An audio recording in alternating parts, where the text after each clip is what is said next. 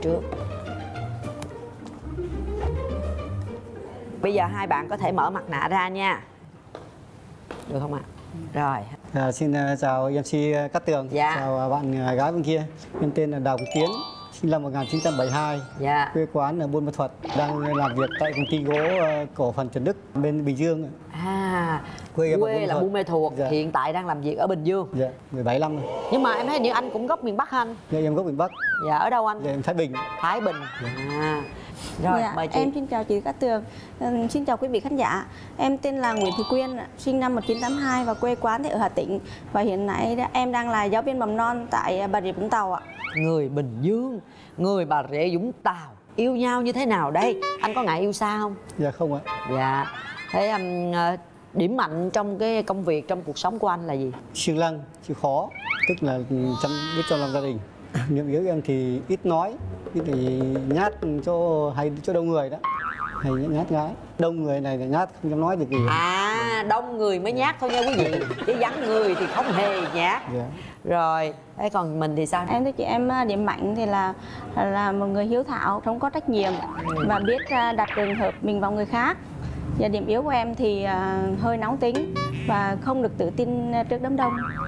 Trời, ai cũng không tự tin trước đám đông hết trơn thế còn trong cái chuyện tình duyên thì mình đã trải qua bao nhiêu mối tình rồi? Dạ, em cũng đã có chồng và đã có hai đứa con nhưng mà em cũng ly hôn cũng, khá lâu rồi chị ạ, từ năm 2010 ạ. 9 năm rồi Dạ, ờ, cháu mình bây giờ là mấy tuổi dạ cháu ờ, có một cháu là học lớp 10 ở với mẹ, cháu trai là học lớp 6 ở với ba. À vậy là cháu gái là Ở với mẹ. Học lớp 10 là cũng là đã 16 tuổi rồi. Dạ. Có hay thường xuyên qua lại thăm hỏi hay là có nuôi con gì không anh á? Dạ không, con bé thì ở với em, còn thằng cu thì ở với bố. Nhớ con thì mẹ chỉ ghé qua trường thăm con thôi. À, Dạ chứ con không được về mẹ. ở với nhau hai mặt con lý do gì mình phải chia tay vậy? Dạ, tại vì ờ, hết duyên chị ạ, lúc mà có người phụ nữ thứ ba xuất hiện thế là À. vợ chồng trục trặc từ đó. Là anh có người thứ ba. Dạ. Mình không níu kéo được à không, không Dành níu kéo hết cách rồi không được thì buộc phải buông chị ạ. à, là có níu kéo. Dạ. Hay già những giai đoạn đầu chắc cũng khó khăn. Nhưng Dạ. mà 9 năm thì nó quá quá lâu rồi. Cuộc sống Dạ. bây giờ đã ổn định rồi. Dạ. Thế thì trong suốt 9 năm qua mình có trải qua một mối tình nào khác nữa không? Nói chung thì em cũng có tìm hiểu nhưng mà em thấy không phù hợp nên em không quen. Lý do tại sao? Cái khó của mình là ở cái chỗ nào để Tường hiểu Tường sẽ Dạ, cố gắng Tường... ví dụ như yêu xa chẳng hạn, Sài Gòn chẳng hạn, em thì ở dưới kia mà em thì không thể mà bỏ công việc của em hay là ấy của em được. Dạ, tại vì em bây giờ ổn định với nhà cửa học con cái học hành dưới đó thôi. Có nghĩa là giờ muốn tìm người để san sẻ Nhưng mà phải ở với Vũng Tàu Dạ. Em không thể bỏ việc em mà đi chỗ khác được. à, Có anh nào mà tới ở với Vũng Tàu luôn Dạ. thì được Dạ. Trời ơi cũng khó quá Muốn bắt chồng đây chết rồi Anh ơi anh nghe của bên đây chia sẻ vậy anh Trước tiên là anh cảm thấy như thế nào ạ? Quan trọng là tôn trọng nhau và sống thôi. Còn Dạ. về cái phần mà ví dụ là có gia đình hay chưa có gia đình thì không bao giờ em quan tâm tới. Có nghĩa là cái việc mà có đã ly hôn hai con là không quan trọng Dạ không quan trọng. Nhưng mà cái vấn đề mà bắt chồng á, có quan trọng không? cái việc ở đâu ấy thì nói chung là ở đâu cũng phải làm ăn hết ở đâu Dạ. cũng là ở thôi chứ còn ở đâu cũng là quê hương hết không có ngại gì cả. Nơi nào mà đất lành thì chim đậu. Nếu như ở dưới đó mà cái công việc anh có thể là có cái việc anh làm ổn định thì anh cũng sẵn sàng đến. Dạ. Hay quá trước tiên là nghe vậy tôi thấy cũng được rồi ha. Thế tình duyên của anh thì như thế nào? Em thì cũng trải qua được hai mối tình nhưng mà hai mối tình đó thì cũng chỉ được mấy tháng thôi. Một cái mối tình bắt tay hai tay còn một mối tình thì yêu qua điện thoại ở ngoài bắc cơ tận phú thọ xa quá. Xa quá. mà yêu nhau ba năm nhưng chỉ có gặp nhau một lần. Trời đó. Dạ ba năm gặp nhau một lần một. ba năm gặp nhau một lần. Một lần đó thì cũng ờ, gần đi tới hôn nhân. Gặp thì tháng sau là đi đến hôn nhân thì ờ, mẹ người đó không cho lấy chồng xa. Trời đất ơi. Quen nhau 3 năm rồi gặp nhau một lần là quyết định cưới luôn. Mà cuối cùng bên kia không Nó chịu. có đi xem thầy thì có ông ngoại của người đó là cũng xem ngày ngày ngày tháng đó nhưng mà không đến được với nhau được. Lâu chưa anh? Lâu lắm rồi. Bao nhiêu năm rồi? tầm sáu bảy năm. Ủa là anh là coi như là trai tân đó hả? Nó hả? Chưa lấy vợ lần nào? chưa lập gia đình một lần nào luôn. Wow. Thế rồi 6 7 năm nay là phòng không chiếc bóng không quen ai. dạ không? em không. Bởi vì tính em thì cũng ít khi giao tiếp lắm. Bởi vì em thì không rượu không chè gì cả. Chỉ biết đi làm và về thôi. 72 là năm nay cũng bậc- gần 50 tới nơi bốn rồi. bảy rồi Dạ. Dạ. Ở mình hoài buồn không anh? giờ cũng buồn nhưng mà tại sao lý do gì tới giờ này anh vẫn chưa lấy vợ? Anh lập gia đình thì cũng là dễ thì rất dễ nhưng khó rất khó. Bởi vì tính em thì nếu không lập gia đình thôi mà lập gia đình thì phải biết một người đó là phải biết là hiểu nhau trong công việc hiểu nhau trong cuộc sống tôn trọng nhau trong sống. Em không phân biệt là phải ai thắng ai thua. Khi đó là vợ chồng thì vợ cũng như vợ chồng chồng như vợ thôi không phân biệt là ai là ai ai to ai nhỏ. Rồi giờ chị tường hỏi em một câu nữa nha. Em nghe hoàn cảnh của ảnh chưa? Dạ em có cảm nhận gì không? Em thấy anh chắc có lẽ cũng kén chọn đấy. Chị nghĩ cũng không kém chọn đâu. Gặp nhau có một lần là đã quyết định tiến tới hôn nhân rồi. Chắc cũng giống như em nói là cái duyên nó cũng chưa tới. Dạ. giống như bên em thì là hết duyên. Dạ. Chứ không không ai muốn sống một mình đâu. Buồn Dạ. lắm thật sự luôn. Tuổi của mình là cần có cái người hữu hỷ. Dạ. Nhưng mà một cái vấn đề này là vấn đề quan trọng nè. Ảnh là trai tân chưa vợ chưa con chắc chắn anh phải muốn có con nếu như lấy nhau. Thế Dạ. thì em có có ngại để sinh thêm em bé không? Dạ không sao chị ạ. Khỏe chị còn sanh được mà không chị em đúng không? Nhỏ chị tới 5 tuổi mới có ba mấy mà được. Ngon lành. Có nghĩa là nếu được mình vẫn sanh em bé chứ đúng không anh? Dạ. à, rồi thôi bây giờ mình sẽ nói về cái ờ, cái cái ờ, mẫu người lý tưởng của mình đi. Dạ. nãy giờ mới nghe chứ chưa có thấy hình nghe tiếng à. Thế Dạ, em dạ. mong muốn cái người lý tưởng của em là người như thế nào Em à, thích một người đàn ông của gia đình. Về nhà thì biết chia sẻ công việc với vợ. Em thích người đàn ông gia trưởng. Ồ, anh biết làm việc nhà gì, phụ vợ không anh? Nhớ em thì được cái là ưu điểm của em là em thích làm việc nhà. Thích làm việc nhà? Bởi vì là gia đình em chỉ có hai mẹ con thôi. Ví dụ nấu cơm nấu nước là em nào hết. Anh nấu cơm nấu nước trong nhà luôn? Dạ. Bởi nhà cho hai mẹ con thôi em không để cho mẹ em nấu cơm. Ồ, mẹ hiện giờ là anh đang sống với mẹ. Dạ. Thế bố anh là mất rồi. Bố em mất rồi. Dạ là mẹ ở bình dương luôn. Không ở buôn Ma ạ. Ủa rồi anh ở bình dương mẹ ở buôn mê thuột làm sao nấu ăn cho Còn mẹ? không tức là em cứ về quê. Trước đây ở quê thì em hay nấu cơm cho mẹ em. Còn bây giờ thì có đứa cháu ngoại ở với với em. À cháu Dạ. ngoại hiện giờ đang ở mẹ Dạ, dạ. anh ở bình dương anh ở một mình? Dạ nhưng mà mình. Ở một mình thì có nghĩa là làm hết. Dạ. rồi có yêu cầu gì nữa không? Dạ với em thích một người đàn ông trung thủy. Lúc đã là vợ chồng rồi nên nên trung thủy. Dạ không chị nghĩ anh này anh phải chung thủy. Tới tuổi này mà chưa lấy vợ mà còn không chung thủy nữa thì làm sao mà ở được với ai? Dạ. Đúng không? Dạ. Về ngoại hình Và ngoại hình thì em thích cao à, 1m65 trở lên. Nói chung là dễ nhìn tí là được rồi. Ờ, anh cao được nhiêu anh? Anh cao được mét sáu hai nó sáu hai à thiếu ba phân cưng ơi. Dạ cũng không sao hỗ trợ đi Dạ mà, sao. mang mang dép thấp xuống một chút ha. Dạ. Ờ, quan trọng là người đó mình phải cảm thấy yên tâm. Cái người có thể là hiểu được thật ra cái tuổi này không phải là mình yêu đắm đuối như ngày xưa Dạ, nữa mà mình ạ. tìm một cái người tri kỷ Dạ. một cái người bạn chia sẻ được là chị thấy hợp lý rồi Dạ quan trọng chị. là tính tình họ người đối xử thế nào đúng thôi rồi Dạ đó, đó mới là quan trọng Dạ. thế còn anh thì anh mong muốn tìm mình chưa vợ mà. Dạ. à, muốn tìm một người vợ như thế nào? Nước da hơi trắng một chút thôi. Còn cao thấp không quan trọng cần làm sao thứ nhất phải trung thủy. Yêu ai phải thật lòng. Ví dụ là bạn bè em không nói còn nếu ví dụ như vợ chồng chồng thì em muốn làm sao san sẻ công việc nhà rồi là công việc to nhỏ cùng phải bàn bạc với nhau chứ không thể quyết định bất cứ ai. Dạ. theo như anh ví dụ trong hai vợ chồng lấy nhau thì cái chuyện à, ví dụ như tài chính trong gia đình ai sẽ là người quản lý? Cái tài chính thì thường thường trước đây là hầu như là bao giờ bên vợ mình quản lý là tốt nhất. Dạ. Ừ, còn ví dụ bắt buộc ví dụ không có ai thì mình mới giữ thôi chứ còn nếu mà có vợ thì mình giữ nó khỏe hơn. Bởi Dạ. vì mình chỉ biết đi làm phải ăn uống thôi không quan tâm cái chuyện Dạ, tiền bạc miễn chồng vợ đừng cho mình chết đói ra đường Dạ. đừng có ờ, bèo nhèo quá là được rồi đúng không anh? Dạ. Dạ. có hình ảnh gì không nè? Dạ, bây giờ mình coi thử coi nè. Anh có hình ảnh gì không anh? Ai anh tìm thử coi nha. Anh có thấy bóng dáng chị ở trong này không? Một tấm một thôi để anh lựa cho nó dễ. Bốn cô nàng đó là có một cô đó. Trời ơi hình này kiếm hơi mệt à dạ. Đó bonus cho thêm tấm nữa có ảnh ở trọng đó chị. Tại sao anh chọn cô đó? Linh cảm của em là linh cảm hả? Rồi thế anh cứ cầm đi nha. Chút xíu tường mở cửa trái tim ra để anh xem coi nha. Dạ em đoán anh này ạ. Sao đoán anh này hay vậy? Đó được rồi. Nãy giờ tường nhìn còn chưa biết anh nào luôn á. Anh này. Dạ. Hay dữ sao đoán anh này? Dạ tại em thấy trong này cũng có anh. À rồi phụ nữ hay lắm phụ nữ linh cảm hay lắm. Rồi bây giờ tường sẽ mở cửa trái tim ra nha quý vị ơi. One two three. Ten ten.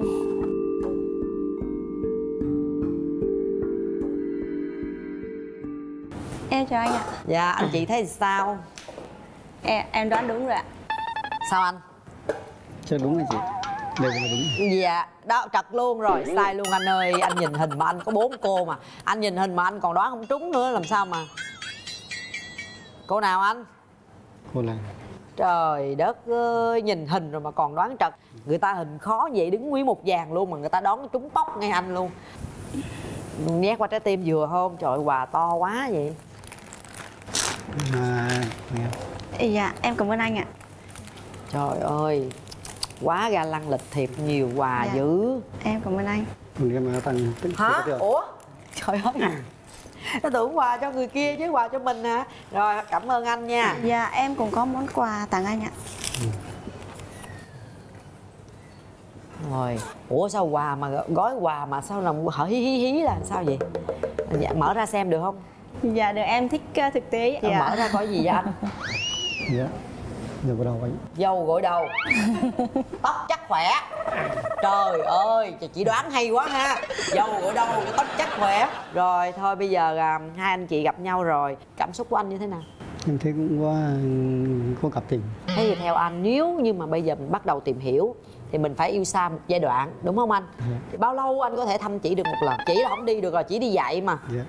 Công việc của anh thì như thế nào? Thời gian của em thì chỉ được có chủ nhật thôi. chủ nhật thôi làm suốt tuần luôn. Dạ, suốt tuần luôn. bên mình là sao? Cũng nghỉ chủ nhật dạ em cũng đi làm từ thứ hai đến thứ sáu chị ạ. Còn mà thứ bảy thì em đi dạy trong chùa. Thì chủ nhật là vẫn vẫn vẫn vẫn được rảnh. Dạ. À thế từ bình dương mà anh chạy lên trên giờ vũng tàu giờ anh nghĩ bao lâu? Thì anh thăm chị được một lần. Trong cái giai đoạn mình yêu xa. Em một tuần một lần. một tuần đi một lần. Tướng ốm mo gầy mòn vậy đi nổi không trời? Em chạy xe từ đây về Buôn Phật được mà. Ồ một tuần lần được rồi ai cũng bận biểu mà Dạ, dạ. đúng không Dạ. thế à, bao nhiêu lâu thì mình có thể tiến tới hôn nhân được Nếu như mà trong cái tuổi em thì nó khác. Bởi vì em thì nghĩ từ 3 tháng đến 6 tháng là đến mình thấy sao dạ không sao em cũng thấy vậy chị cũng thấy vậy chứ để em cũng nữa dạ. đi qua đi được hay không nó thiệt cái tuổi của mình á Dạ. gặp nhau chừng hai lần ba lần là mình biết được hay không rồi Dạ, đúng mình rồi. chủ yếu là mình coi cái tính cách tính tình với nhau như nói chuyện nhau có hợp hay không chứ còn kéo dài làm gì hợp là hợp mà không hợp là không hợp nhưng mà em hỏi nè ở bình dương là anh đang ở nhà của ai Thì em cũng đang ở nhà trọ thôi. ở nhà trọ thôi không xác định ở đây. à, thế thì giờ giả tỷ bây giờ mình lấy nhau Dạ. qua vũng tàu đi Dạ.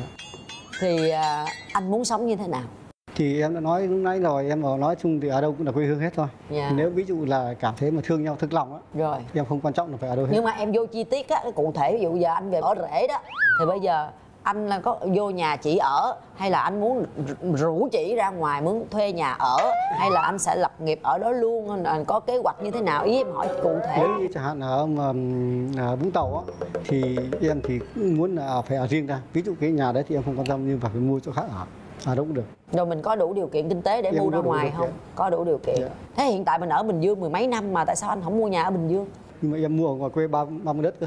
Mua ba miếng đất ở buôn mê thuột dạ. Bán bớt miếng vô vũng tàu mua được không anh? Dạ. À có nghĩa là có đất ở quê Dạ. ở à, không thích bình dương. Dạ. anh thích vũng tàu không? Xưa giờ có cái nào anh đến vũng Tàu tàu thì em cũng đi có hai lần rồi em cũng thích ở đó. Rồi.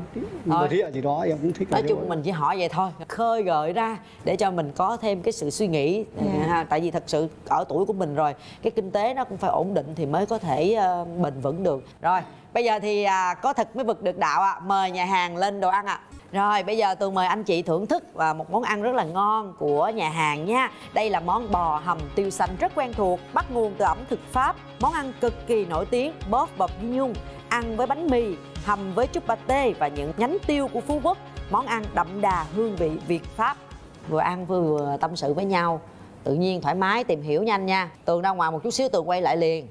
Ổn không tự tin không? Dạ. Trời ơi anh mạnh dạn lên cho em cái coi anh. Rồi xin mời hai người à, thưởng thức món ăn ạ. Dạ. Mời em khi em ở Vũng Tàu em ở chỗ nào? Dạ em ở phú mỹ anh ạ. Phú Mỹ đã đến Bà Rịa chưa? Sài gòn đi xuống là chưa anh. Còn cách bà rịa đến 22 cây ạ.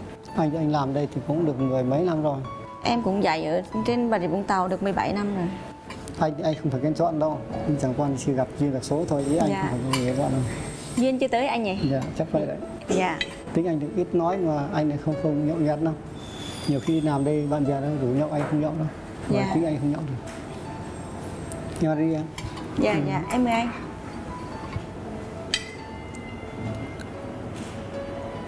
Anh làm bên gỗ phải không ạ? Anh làm nguyên công ty gỗ. Dạ. Anh làm nhân trưởng à. Quản lý 30 người. Dạ. Anh cho công ty anh chứ không phải làm đâu được đứng gọi là phân công công việc thôi. Dạ. Vậy anh làm ca hay làm hành tránh anh? Anh làm từ 7 giờ sáng 3 giờ anh về rồi. À 7 giờ sáng đến tiếng. 3 giờ chiều. Anh ít đi chơi lắm. Dạ. Cùng lắm ra ngoài đường hay là thỉnh thoảng đi siêu thị đeo ăn dạ. Một mình đi. Ủa vậy là anh đi làm vậy là đến tết thì anh mới về lại buôn mê thuột? Ví dụ như mùng 2 tháng 9 vừa rồi anh cũng về. Dạ. Anh đi xe máy về. Từ đây về chỗ anh là 380 cây. Anh Dạ. là người cũng hầu như cũng mẫu mực trong gia đình đấy. ví dụ đã có gia đình rồi thì lúc nào anh cũng tôn trọng gia đình lắm thì anh muốn là công việc hay là về cái ừ, làm cái nọ nó kia phải cùng san sẻ với nhau. Dụ em nấu cơm anh có thể anh rửa chén chứ không bao giờ phân biệt à cái này là phải của phụ nữ cái này của người đàn ông. Dạ. Nhưng mà từ qua ngã ba Vũng tàu thì vô cho em không? hai chục cây không? Từ ngã ba vũng tàu đi xuống em á. Lo tâm sự chắc không cũng à. ờ, không chắc ăn cũng luôn. tầm 40 cây á trời Dạ. ơi em mời nhà hàng mời quán ăn món ăn ngon quá mà hai anh chị không ai ăn hết trơn vậy. Xíu nữa ra ngoài hai anh chị sẽ tiếp tục thưởng thức nha. Bây giờ em hỏi nãy giờ tâm sự được nhiều chưa? Dạ. cơ bản anh thấy ổn không? Dạ cũng thấy ổn ổn chị. Dạ tại ở đây thời gian không có nhiều. Dạ, dạ. à, có nhiều là anh phải tự chạy xe xuống với vũng tàu cho nó có nhiều nha. Dạ, dạ. Thế anh định là thí dụ ổn cái chừng nào anh anh anh xuống ờ, gọi là hẹn hò bữa đầu tiên dạ thứ bảy tới này thứ bảy tới? Dạ. ủa sao nãy mới nói chủ nhật giờ qua thứ bảy rồi? nhưng mà thứ bảy giờ thì thường thường em được làm vào tám tiếng hành chính thôi. À thì làm xong rồi chạy xuống? Làm xong về phải tắm rửa ăn cơm xong xuống. Đi tối luôn đi đêm luôn. Không đi từ đây xuống đấy tầm 2 tiếng thôi. Hai tiếng? Dạ, hai tiếng. Rồi. Ủa hơi có hẹn chị chưa hay là nè anh mới tự nói thôi anh hẹn chị chưa? Không là biết hôm nay gặp mặt lần đầu tiên. Thấy cái ổn không chị? Em thấy anh cũng hiền cũng ít nói. Không tường cũng hy vọng lắm á Dạ. tại vì tường thấy anh cũng đủ điều kiện. Rồi bây giờ thì tường mời chị bóc vài cái à, một lá thăm ở trong này đọc lớn lên cái yêu cầu trong đó à cái này mục đích để hiểu nhau nhiều hơn thôi. Cùng bạn gái bạn trai ghép tay thành biểu tượng trái tim để chụp ảnh thật tình cảm. Rồi bây giờ anh đi qua bển đi anh. Mình đi ghép cho vậy nè mỗi người nửa trái tim vậy nè. Đó để mình chụp hình làm lưu niệm. Đó là yêu cầu của chương trình. Dạ. đứng lên đi chị. Đó ai thuận tay nào đó là thuận. Mà anh phải đứng chung Anh với cổ mới ghép được vậy chứ trời anh biết làm vậy không? Đâu hai người làm đi tôi coi đẹp chưa nha. Sát vô trời ơi đâu có ra trái tim đâu trời. Trái tim gì méo xẹo vậy? Không có ra được trái tim nha chết rồi. Anh là hơi bị thấp hơn mấy phân rồi nè. Đó, đúng rồi. Được chưa được chưa? One, two, three. Qua, lấy cái cây cửa trái tim luôn nè. One, two, three. Đứng yên đứng yên. Để tôi chụp xéo xéo qua trái tim luôn nè. One, two, three. Rồi, xong. Giờ tới phiên anh. Mời anh. Đọc lớn lên nè. Đọc lớn lên anh, sao căng thẳng vậy? ôm bạn gái từ phía sau và nói tình cảm thật của mình. Cho đối phương nghe. Anh hiểu không anh? Dạ. hiểu không? Rồi tiến qua đi chứ giờ chờ gì nữa? Ôm bạn gái từ phía sau và nói tình cảm thật của mình cho đối phương nghe. Vậy chắc cũng phải mời chị đứng lên nha. Cặp đôi này lời quá. Có những sự va chạm không hề nhẹ làm đi anh ta đứng sẵn rồi đó anh ơi mạnh dạn lên anh ơi năm mươi mấy tuổi chú anh gần 50 tuổi chưa có vợ kìa trời ơi. Đó anh run quá anh run quá. Nhưng mình mình hơi nhích cái tay ra chút xíu đó trời đó anh mới dám anh không dám thọt vô. Thương ghê vậy đó. gì mà cứ nhắc vậy. đây thì anh cũng muốn là anh và em đã có duyên tới đây rồi thì thực sự là thì anh cũng có tình cảm với em. Nếu anh và em mà có duyên đi đến hôn nhân nữa thì anh cũng là một người mà sống tất cả những gì tốt đẹp nhất anh sẽ dành cho em. Dạ. Hơi nhỏ nhưng mà cũng tình cảm. Run quá thanh niên mà bây giờ cho ôm và không dám ôm luôn. Trời ơi không biết người đàn ông còn sót lại của thế kỷ đây nè. Cảm xúc của mình sao chị? Dạ em thấy hơi run chị ạ. Hơi run. Dạ. Anh sao anh? Nhiều run rung luôn ai cũng rung hết trơn á. Cặp này phải gả nha quý vị. Nếu mà quý vị đồng ý thấy cặp này xứng đôi mà mọi người nhớ thả tim comment nhiều nhiều vô cho cặp này cưới nhau dùm em một cái để em lấy cái đầu heo coi nè. Thì bây giờ là tới cái thời phút quan trọng nhất rồi. Dạ. anh chị đặt tay vào nút bấm và sau khi mà tường đếm 3 tiếng đếm á nếu mà anh chị đồng ý hẹn hò với nhau thì mình sẽ bấm thật là mạnh vào cái nút này nếu mà không đồng ý thì anh chị lấy tay ra, nhưng mà tường sẽ buồn lắm. Tường sẽ tan nát con tim, vì tường thấy cặp đôi này là có thể là tường ăn được đầu heo đây nè. Rồi, mời anh chị đặt tay vào nút bấm và nhắm mắt lại ạ. Một, hai, ba. Dứt khoát một lần thôi. Biết ngay mà, sẽ đỏ cùng một lượt. Dạ mời hai anh chị về một phía ai mà không nhấn là tôi nhấn liền tôi nhào vô tôi nhấn liền luôn. Cặp này xứng đôi quá. Tường xin thay mặt chương trình gửi tặng anh chị à, những chiếc vé xem phim của hệ thống rạp CD Box 212 Lý Chính Thắng Dạ. nếu mà còn thời gian thì chiều nay hai anh chị cứ ghé xem phim trước khi ờ, mình về quê. Nha. Ơi nắm tay nhau đi anh chị nắm tay nhau ạ. À, tường thiết nghĩ là chúng ta cũng nên trao cho nhau một nụ hôn đầu tiên để kỷ niệm ngày hôm nay là ngày chúng ta gặp mặt. Dạ mời anh. Mình thanh niên mà anh phải chủ động chứ tự tin lên nè hôn cô cô cô bạn gái của mình.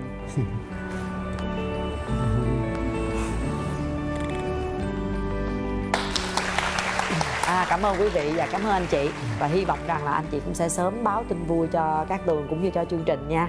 Tường là hy vọng đến 85% rồi đó. Còn phần còn lại là ở anh anh mạnh dạn lên giùm em cái nha anh ơi. Nha Dạ. một tuần đi xuống với chúng ta một lần. Dạ. ba tháng thôi là báo tin vui liền. Ok? Dạ. nha. Em xin cảm ơn chương trình rất nhiều ạ rồi cảm ơn anh chị. Cặp đôi này từng tin là tự tin là họ sẽ đến được với nhau đó quý vị ạ. À, chúng ta sẽ gặp nhau vào khung giờ rất là quen thuộc của chương trình vào số sau nhé. 12 giờ thứ hai thứ tư thứ sáu hàng tuần trên kênh My TV nha quý vị. À, chúng ta sẽ gặp nhau vào khung giờ rất là quen thuộc của chương trình sáng thứ ba, thứ năm, thứ bảy hàng tuần trên kênh YouTube MCV Media. Và đừng quên nhấn subscribe nha quý vị nhé. Và bây giờ các tường xin chào và hẹn gặp lại. Ở đây là một buổi casting của Bảo Nguyện Hẹn Hò ha. Thì có gì ờ, để coi nghe được cái cách mà chị thể hiện trên sân khấu như thế nào. Bây giờ mọi thứ là mình sẽ tự chủ động uh, chia sẻ hết ha chị ha. Ờ, chị giới thiệu giúp em về họ tên tên tuổi quê quán nghề nghiệp của mình với. Dạ, em tên là Nguyễn Thị Thanh Kiều, em sinh ngày 5 tháng 1 năm 1998. uh, ờ, em uh, quê em ở Hậu Giang, đang làm việc. Làm uh, chuyên viên trong một bệnh viện chuyên viên marketing hả ờ, bạn Dạ. bệnh viện nào ạ bệnh viện à, quốc tế Phương Châu và Sóc Trăng nè, chi nhánh ở ờ cái Sóc Trăng rồi hiện tại là chị đang làm việc ở Sóc Trăng luôn đúng không Ừ. Dạ. Ờ, mình có tài lẻ nào không bạn tài lẻ hả? À, em chỉ biết làm đồ handmade thôi. làm đồ handmade ờ mình có hát ca gì được không? Hả? Em hát dở. ờ hát dở hả? Rồi ok. Ờ ờ, điểm mạnh điểm yếu của mình là gì nè? Em là à, em em có mục tiêu rõ ràng. Em biết em làm cái gì tiếp theo. Rồi giờ em em chăm chỉ. Nếu của em thì em ờ, hay quên. Còn điểm yếu của mình là gì?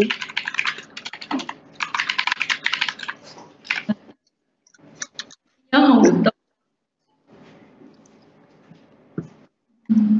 Nấu ăn cũng không ngon. Alo alo. Có nghe rõ không ạ? Ờ, tại nãy mẹ mới lắc ờ, điểm, hồi nãy nói là điểm yếu mình là gì á dạ điểm yếu của em là em hay quên. Ờ hay quên rồi còn gì nữa không? Nấu ăn ngon không? Không nhưng mà em biết nấu. Nấu ăn không ngon rồi. Ờ, mình đã ờ, trải qua bao nhiêu mối tình rồi?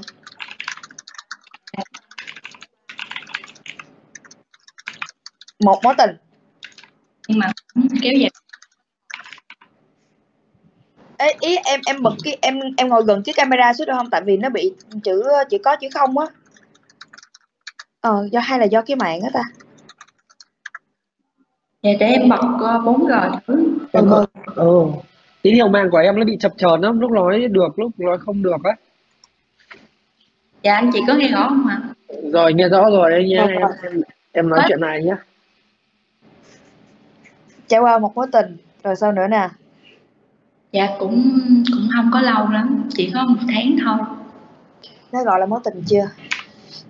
Dạ cũng cũng, quen. Quen được một tháng đúng không? Rồi còn ờ, mối sau mối tình một tháng em còn quen ai nữa không? Không. Lý do gì trời thấy cũng ok mà. Lý do tại sao không quen? Làm việc của em á là em ờ, em học đại học thì em học ngành cũng toàn nữ không, mà em cũng ờ, không có đi đâu chơi hết, em ít đi ra ngoài lắm. Rồi khi mà em làm việc của môi trường của em cũng nữ nữa, nên là cũng khó ừ, kiếm được mối quan hệ khác. Ờ toàn nữ không ha. Rồi ờ, ý là cho chị biết về ờ, bạn ấy, cái bạn mà mối tình một tháng của em á là bạn uh, thời học sinh hay là trong uh, ở đâu? Em quen ở đâu? Dạ, à, em uh, lúc là lúc đó là em đang là năm 2 nhưng mà uh, yêu xa á chị. Là tại vì lúc đó là em ở Cần Thơ còn anh đó bước em để em cho ảnh kiếm người khác gần hơn để chăm sóc ảnh. Còn em thì ở Cần Thơ. Rồi uh, biết nhau là qua qua bạn ừ. biết nhau qua bạn thôi hả? Rồi mình có nắm tay rồi hôn gì chưa? Có nắm tay nhưng mà chưa có hôn. Trời đất ơi. Chị yêu xa mà chị. Ừ. có nắm tay chưa hôn? Là chưa bao giờ hôn bạn nam nào hết. Dạ đúng rồi. Ok vậy bây giờ đến với chương trình nè à, em mong muốn ờ, bạn trai một ờ, mẫu bạn trai mình như thế nào? Em có nghề nghiệp ổn định. Nghề nghiệp ổn ổn định của em là như thế này ví dụ cho chị một cái mức lương được không? Chung là nó có thể có có có tiền chăm sóc cho ba mẹ ảnh cũng có thể. Ờ, đưa em đi ăn đưa em đi chơi rồi là được rồi đi ăn đi chơi. Mà Dạ. em ăn chơi ờ, ý là tại tùy cái mức độ người ta ăn chơi. Ví dụ như là em đòi ờ, đi Cần Giờ hay là muốn đi resort năm sao? Ý là cái mức lương em mong muốn là như thế nào? 10 triệu hay 15 triệu để mà đủ? 5 triệu đi. 5 triệu hả? Dạ. 5 triệu. 15 triệu. À 15 triệu. Rồi ok. Rồi quê quán nè. Em mong muốn bạn trai quê quán ở đâu nè Cần Thơ hoặc là Sóc Trăng. Ừ. tuổi tác? Dạ ờ, hơn hơn tuổi em nhưng mà được sinh năm 1994 kỳ thị hả? Sao vậy em? Sao vậy? Không không hợp phong thủy đúng không? Em mạng thủy kỳ chính tư mạng quả đúng không? Rồi bà mê tín quá bà ơi Trời, nhưng em không mê tín lắm nhưng mà gia đình em mê tín à, vậy hả? Bây giờ nè em ờ, cho chị cái con số nhất định ví dụ như bằng tuổi em hoặc là nhỏ hơn em cho đến ờ, ví dụ như là từ 21 tuổi cho đến 30 tuổi chẳng hạn em mong muốn cỡ khoảng bao nhiêu đó chị biết chị kiếm? Dạ trên 26 tuổi. Đừng nhỏ hơn em. Trên 26 tuổi. Rồi rồi một ngoại hình như thế nào? Thì em em mong muốn là một Cao. cao Dạ. trên một mét bảy. Em cao mét nhiêu mà em đòi dữ vậy? Em cao một mét năm lăm trời ơi gì vậy bà? Sao vậy sao vậy chị ủa thì năm cái kiếm mét sáu mươi ba là được rồi. Em muốn một mét bảy tại vì em muốn ờ, con của em sinh nó cũng cao nó không lùn như em. Cho nó uống sữa rồi um, thân hình body sáu múi hoặc là bụng mỡ mặt mập tròn tròn. Ờ, đừng có ốm là được em không thích ốm. Không thích ốm. Mập được không? Dạ. Mập được không? Thì cũng được. 98 kg được đúng không? Đừng mà đó rồi hỏi nữa. Rồi ok còn mong muốn với bạn trai nữa không nè? Em cũng biết. Đã ví dụ như bạn ờ, bạn ờ, không được. Rồi ok. À, đây là một buổi casting ha. Thì có gì là sẽ nếu nếu em được chọn vô vòng trong thì em sẽ được một bạn biên tập làm việc với em ờ, sâu hơn về vấn đề này ha. Rồi cảm ơn em rất là nhiều dạ chị Dạ, ơi chào là mọi người. buổi ờ, buổi casting của bạn Nguyễn Hẹn Hò ha thì ờ, mọi thông tin nghề nghiệp tên tuổi nè câu chuyện của mình thì chị sẽ là người tự chủ động chia sẻ giúp cho em ha chứ đừng có chờ biên tập là hỏi ha chị ha Ờ, bây giờ chị giới thiệu giúp em là tên tuổi họ tên nghề nghiệp quê quán của mình với À, mình à, tên là Lan Thị Bạch Tuyết. Mình sinh năm 1983. Mình ở thực tế ra là mình đang ở thành quê quán mình là ở thành phố Hồ Chí Minh. À, do tính chất công việc á, thì à, hiện tại nên mình ra đảo mình à, côn đảo mình làm việc. mình à, đã ly dị lâu rồi mà và hiện tại mình có một à, bé trai năm nay cũng được uh, 15 tuổi. Ờ, nghề nghiệp của chị mình là là mình làm trong cái ngành à, khách sạn và buồng phòng là khách sạn buồng phòng. Hiện tại là mình đang làm tại Sistensis Côn Đảo Resort Ừ, à, chị chị nói rõ giùm em là chị làm gì ở khách sạn à? Ờ, nhân viên buồng phòng Rồi. Ờ, chị ờ, chị ờ, chị kết hôn được bao nhiêu lâu? à mình kết hôn cũng được cỡ 3 năm rồi sau đó mình ly dị mình kết hôn từ à, năm à, 19 tuổi à, sau đó thì à, ly dị sau đó mình ly dị giờ tới hiện tại tới bây giờ luôn vẫn chưa có kết hôn lần nữa Mình ly dị được bao lâu rồi chị? cũng được 15 năm rồi Ồ. 15 năm. Rồi, chị cho chị cho em biết là ờ, lý do sao mà hai hai người ờ, gặp gỡ nhau như thế nào rồi lý do tại sao hai người lại ờ, ly hôn? À, vấn đề là tụi mình là học sinh học cùng nhau chung năm lớp 12 sau đó ờ, hai bên ngồi chung bàn chung chợ chung ngồi chung bàn ờ, và quen nhau từ đó. Còn mà vấn đề về chia tay là do là anh ấy có người người khác và có đứa con cũng lớn hơn mình. Có đứa con cũng được cỡ tầm 2 tuổi. Sau khi biết việc đó nên là mình cũng nên ly dị. Ủa Là chị anh ơi, tức là tức là con con của chồng cũ của chị ấy là lớn tuổi hơn con trai của chị hiện tại hả? đúng rồi Có nghĩa là trong thời gian kết hôn là chị kết hôn 3 năm chị mới có con thì trong 3 năm đó là con anh ấy đã được 2 tuổi rồi. đúng rồi Ờ, tức là lúc kết hôn với chị là cái cái người kia là đã có bầu rồi. đúng rồi không thật ra là lúc là tụi chị kết hôn là đã gần một năm sau là anh đã quen người đó và có con Ờ. Và bây giờ là anh chồng cũ của chị là đang sống với cái người kia luôn. vâng đúng rồi vẫn còn đang sống chung Còn chị thì nuôi con.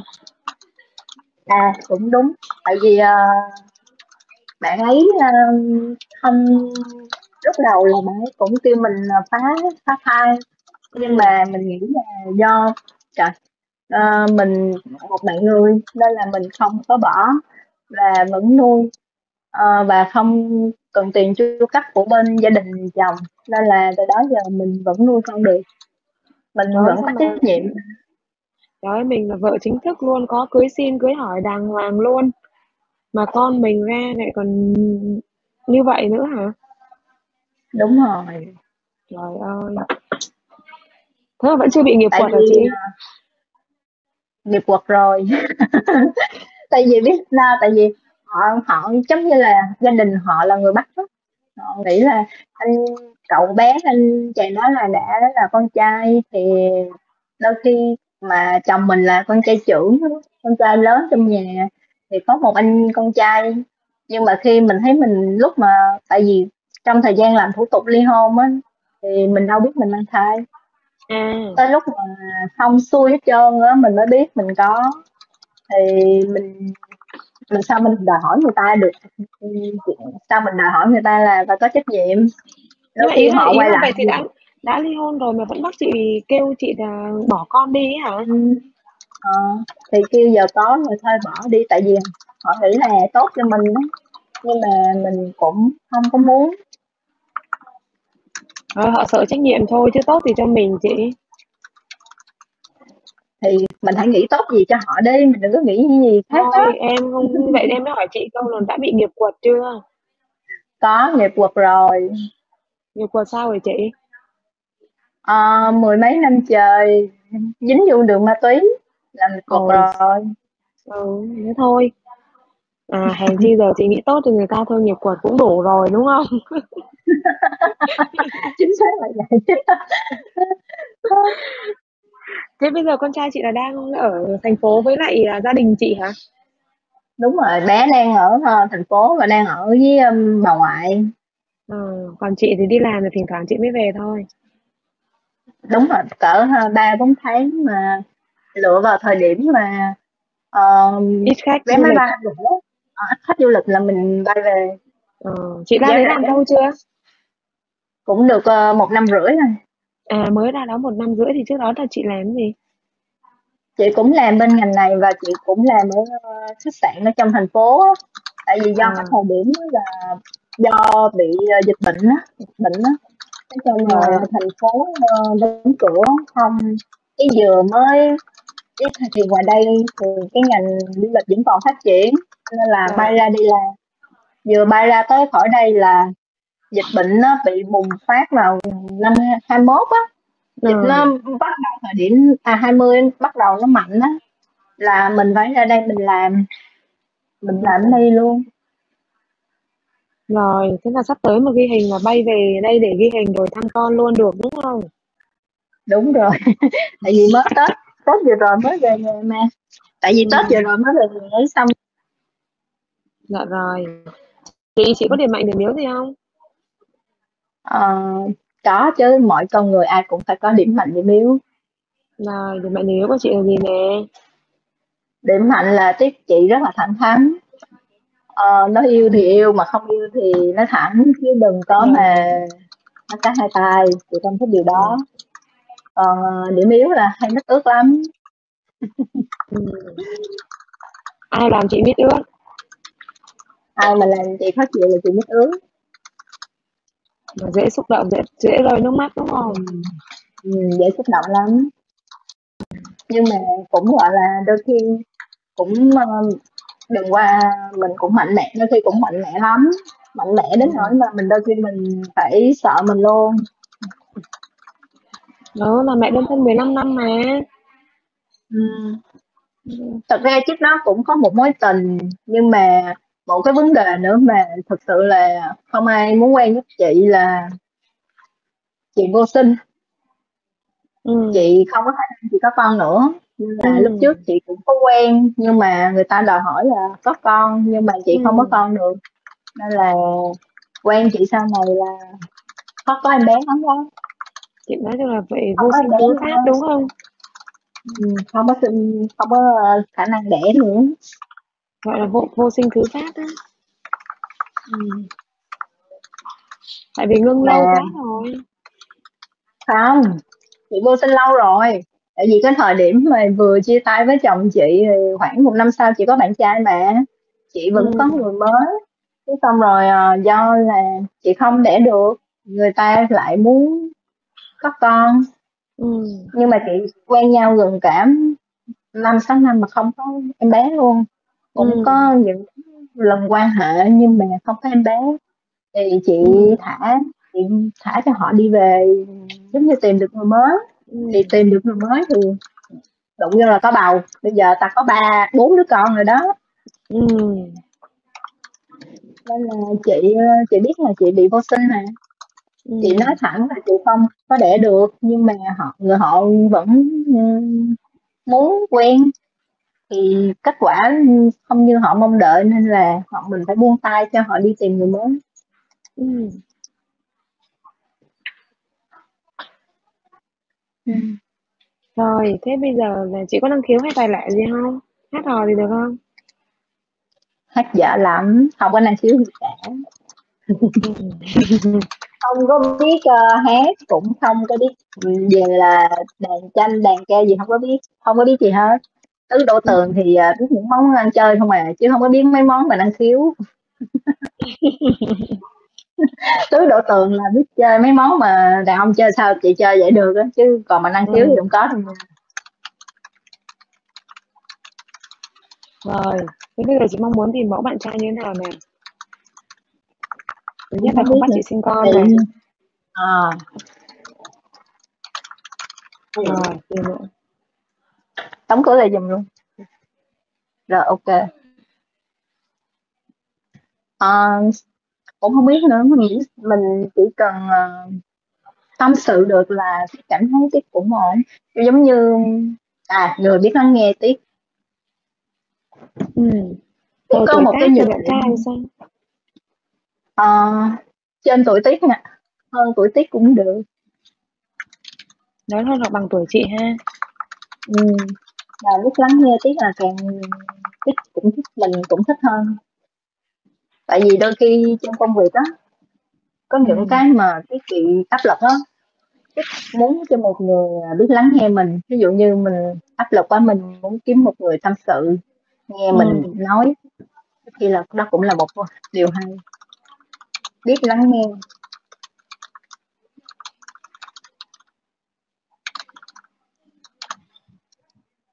Rồi quê quán của bạn trai thì sao chị? thôi ở thành phố đi Tức là nếu như quen bạn trai thành phố là chị sẽ về đúng không? à, nếu được ở thành phố thì cũng ổn hơn Rồi. Có điểm gì chị không thích ở bạn trai không? bất tích ờ gì gì ta Ngoại hình thì chị yêu cầu sao? Cao thấp mập ốm sao? Sáu múi hay là ba múi hay như thế nào? ở sáu muối đi ha có sáu muối càng tốt ha Ừm.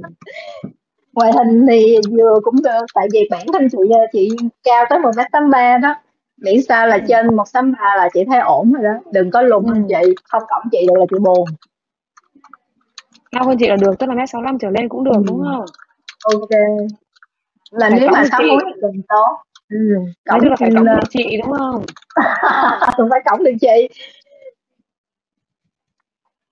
Ví dụ như chị mét 63 mà kiếm anh chàng mét rưỡi thì sao mà cõng được chị đúng không? ờ đúng rồi chị bữa chị cũng quen một anh chàng hết rửa đâu có cổng được đâu bụng muốn chết luôn